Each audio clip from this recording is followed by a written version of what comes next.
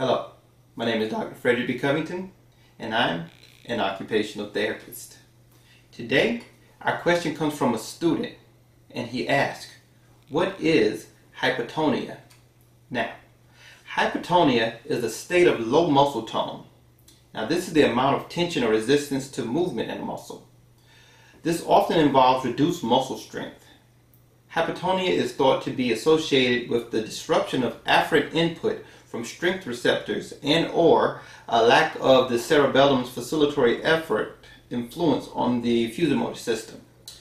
This, this is the system that innervates intrafusal muscle fibers, thereby controlling muscle spindle sensitivity.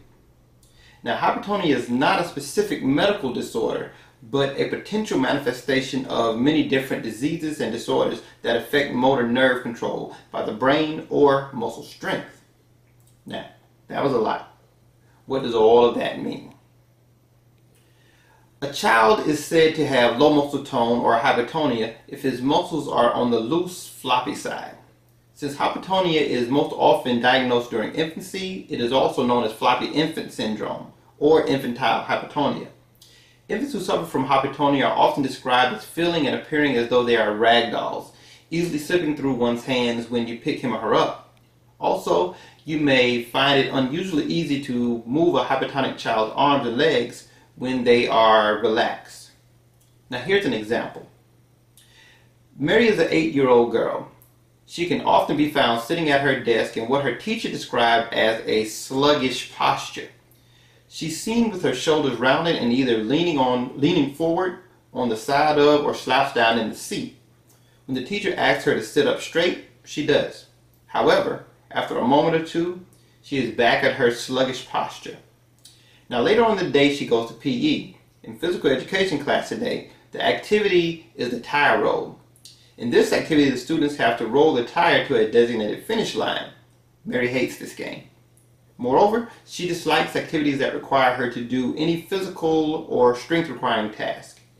Now, after encouraging her to participate, the physical education instructor note that she has poor reflexes, she appears weak, and appears to have very low endurance.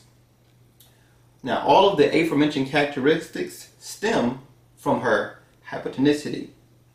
Now, there's multiple symptoms that may indicate a problem. Motor skills may be delayed. There could be hypermobile or hypoflexible joints, drooling or speech difficulties, poor reflexes, decreased strength, decreased activity tolerance, rounded shoulders. The individual may lean on others for support and poor attention and motivation. Now, the extent and occurrence of specific symptoms depends upon the age of the patient, the severity of hypotonia, the specific muscles affected, and sometimes the underlying cause. Now, if you have any questions or comments, please feel free to send emails or leave your comments here, or you can download the Ask the OT app for iPhone, iPad, Android, and Windows mobile phones and devices at www.askdrcovington.com and submit your question directly through the app. Now, as always, take care, and we'll be seeing you next time.